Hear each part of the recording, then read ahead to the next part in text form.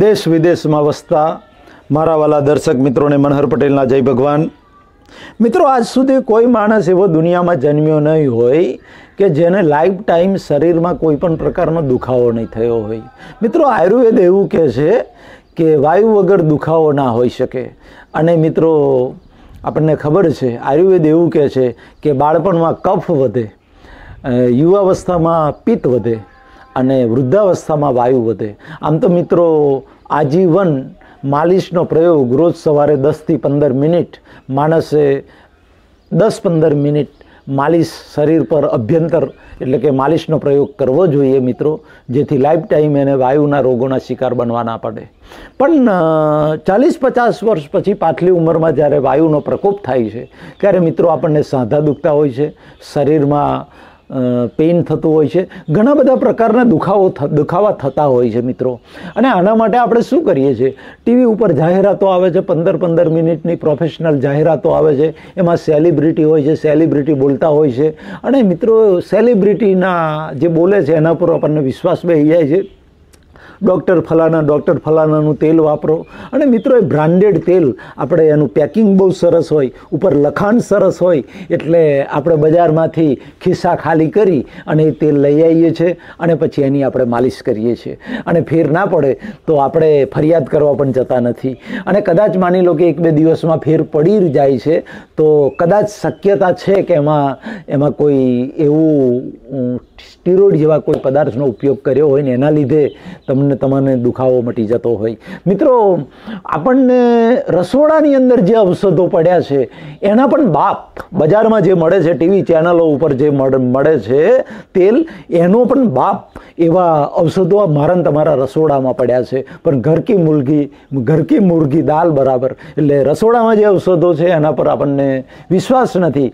પણ ટીવીની જાહેરાતો ઉપર અને બજારું તેલો ઉપર આપણને વધારે વિશ્વાસ હોય છે. મિત્રો, આજે હું તમને આયુર્વેદે જેના ભરપૂર વખાણ કર્યા છે, એવું એક દુખાવાનું, માલિશનું તેલ કેવી રીતે બનાવવું, એના માટેનો ડેમોન્સ્ટ્રેશન સાથે હું વીડિયો તમારી સામે રજૂ કરવા માગું છું. મિત્રો, એના માટે તમારે કોઈ ખિસ્સા ખાલી નથી કરવાના, બજારમાંથી કોઈ વસ્તુ નથી લાવવાની, માત્ર પાંચ વસ્તુની જરૂર પડશે. જે વસ્તુ તમારા રસોડામાં પડેલી જ છે.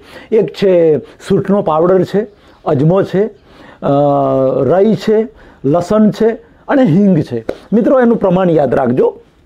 ત્રણસો ગ્રામ સરસિયાનું તેલ લેવાનું છે. અઢીસોથી ત્રણસો ગ્રામ સરસવનું તેલ લેવાનું છે. એ સરસવના તેલમાં બે ચમચી સૂંઠનો પાવડર મૂકો, નાખવાનો છે. બે ચમચી રઈ નાખવાની છે. બે ચમચી અજમો નાખવાનો છે.